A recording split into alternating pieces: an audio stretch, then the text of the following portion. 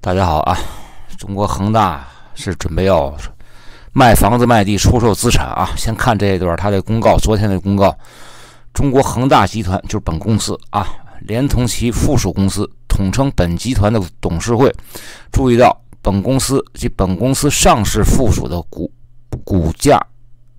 呃，股份价格及成交量上升，也注意到近日关于本公司及附属公司的传闻。本公司仅此通知本集团股东及投资者，本公司正在接触几家潜在独立第三方投资者，探讨有关出售本公司旗下的部分资产。包括但不限于出出售本公司上市上市附属公司中国恒大新能源汽车集团有限公司及恒大物业集团有限公司的部分权益。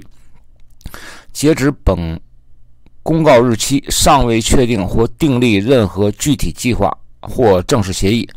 倘有关该等计划或最终协议得以落实，本公司将进一步公告通知市场。啊。这是承董事局命啊，中国恒大主席许家印啊。那么恒大汽车这边呢，也基基本上也是一样，就是中国恒大新能源汽车集团有限公司也是本公司的董事会。注意到本公司股价呃价格及成交量啊上升，也是恒大汽车它也是是吧啊？本公司。控股股东中国恒大集团正在接触啊潜在独立第三方投资者，探讨有关出售其他部分资产，包括其持有的部分本公司权益。这个本公司指恒大汽车啊，恒大集团基本上是确定现在是要卖自己的就是房产啊，出售自己的资产，然后出售自己的那个恒大汽汽车，就是新能源汽车集团有限公司。这个是基本上出售这些公司是要干嘛的？基本上就是要还债，对不对？网传一份啊，这个接盘侠啊，这个接盘名单是谁呢？包括这个珠江投资、广州城投、越秀金控、华润、万科、保利发展控股集团有限公司啊。这个按照这个。部分这个机构投资者预计呢，恒大会出售非地产业务，非地产业务这一块的价值呢是大概八百亿美金左右。但是，啊，所有的这个投资机构者都表示呢，虽然恒大旗下的非核心资产不算差，现实的问题呢就是恒大愿意就是接受多大的折扣，你肯定不能按八百亿美金这个市价你卖给人家这个接盘的，肯定你得打点折嘛，对吧？所以说，这个如果要是你要是按照现在市场价格，对吧？就是基本上不会有这个投资人，人人家是做买卖，对不对？人家是买买了你这企业，我是要赚钱的，对吧？这你要市场价的话，谁都可以买，对不对？所以说他们这这些，你肯定是要打，就给我一些折扣，对吧？我买完之后还不一定能够赚钱啊！我待会儿为什么跟你讲为为什么不一定能够赚钱啊？就是说。你肯定要折扣，对吧？你不折扣的话，你像他们就是说，市场这个，你像那普通一般投资者基本上都不愿意接受啊。这个国企，国企也不不太可能啊。我刚才说了，为什么就是说你现在他接盘，就是如果有人接盘，一定是国企呢？你看恒大汽车啊，恒大汽车现在它是什么？就是二零一九年。二零一九年，它是进进军这个呃能源汽车市场。八月九号晚上，就是恒大汽车发布这二零二一年上半年盈利预预警啊，预计上半年净亏损四十八亿人民币，是去年同期净亏损二十四点五亿元的两倍。这个公告称说什么？中国呃，就是今年上半年亏损主要是由于由于拓展新新能源汽车业务，该业务呃目前处于投入阶段啊，固定。呃，购买固定资产及设备啊，研发等相关费用增加及利息支出较大啊。这是公司将于八月底正式发布上半年嗯业绩，就这个月月月月底发布上半年业绩。知道这话什么意思吗？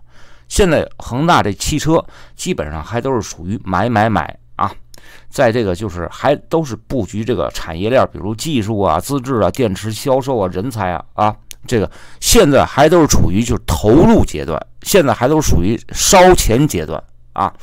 高科技的东西，你记着啊，是没有钱往里砸，你是不会出成果的啊。这种新能源汽车属于就是什么，前期要是大量的、巨大的这种投入，投入什么呀？不就钱吗？对不对？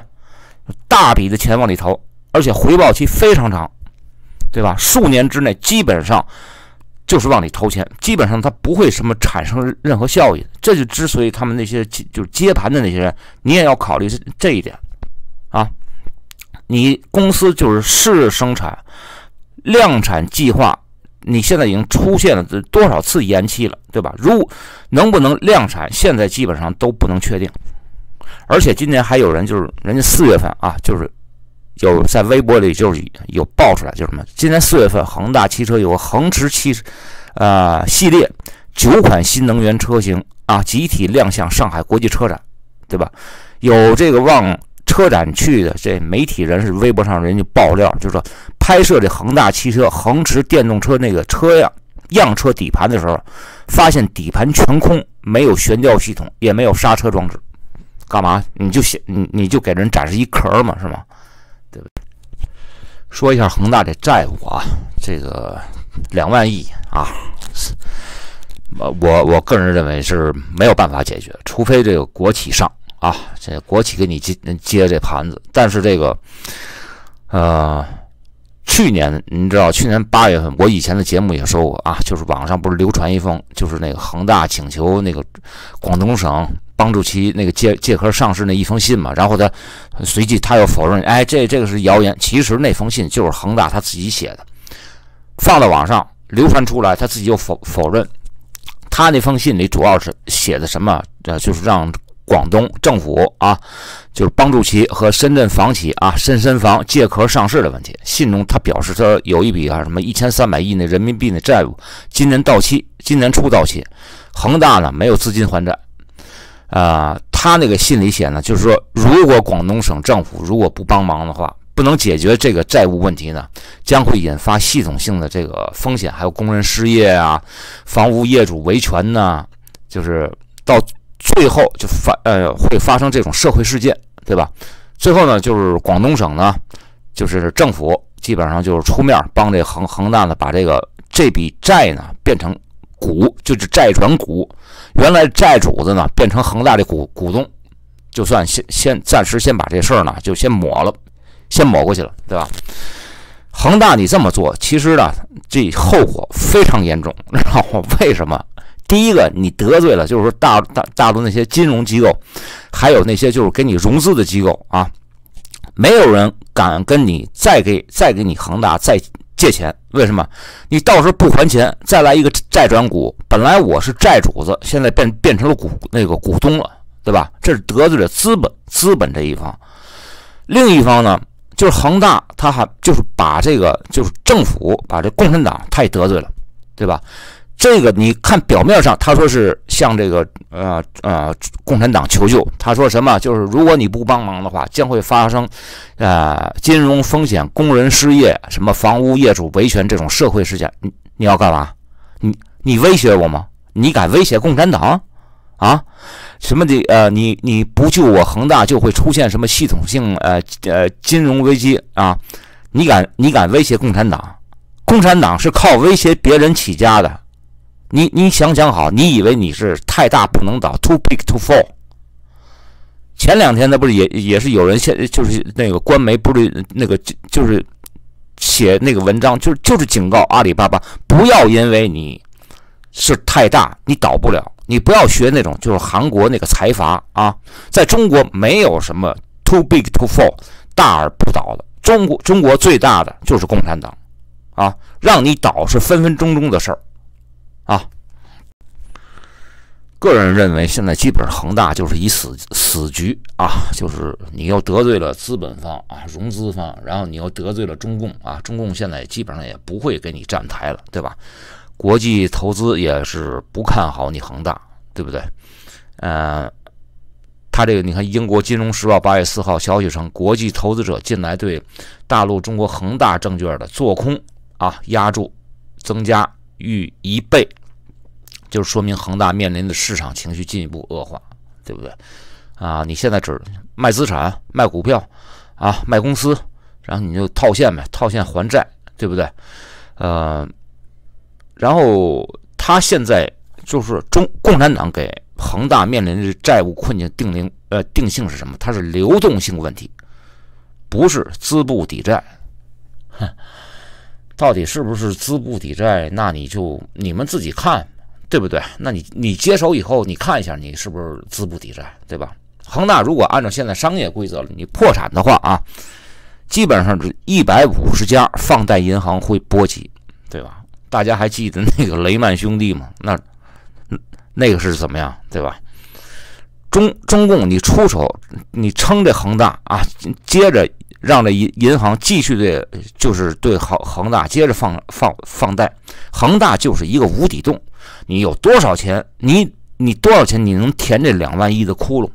你自己的你经济你都吃不消，要不然你收归国有、办国有，稳住恒大，对不对？你到最后还是弄一四不像，你还是接着还得往里填钱啊！现在他问题就在这儿，中国中呃共产党啊，就政府他想接盘，那一块烫手的山芋，对吧？你接了之后还得往里亏，还得往里投，对吧？还得往里填，就刚像我说，这是一无这是一无底洞。所以我就说，我觉得个人觉得这是这真是一死局啊，嗯，too big to fall，没有 too big to fall，这个不是美国那个波音像那个闹疫情那时候政府出手什么的，对吧？没有这种，中国没有 too big to fall，大家记住我这话啊，呃，这段先到这儿。